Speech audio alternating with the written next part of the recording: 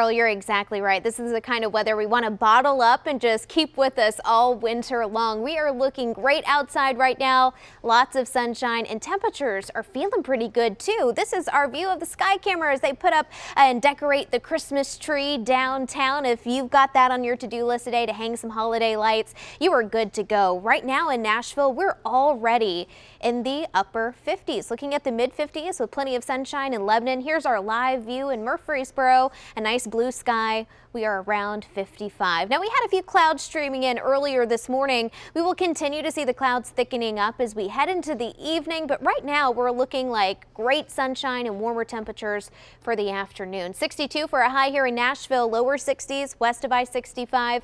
Our friends on the plateau will see highs today in the upper 50s. Clouds thicken up overnight tonight and our next chance for rain is coming tomorrow. It doesn't look to be a big soaker, but we'll have some on and off rain showers Friday morning and through the afternoon. Luckily, the first part of the weekend Saturday is looking dry.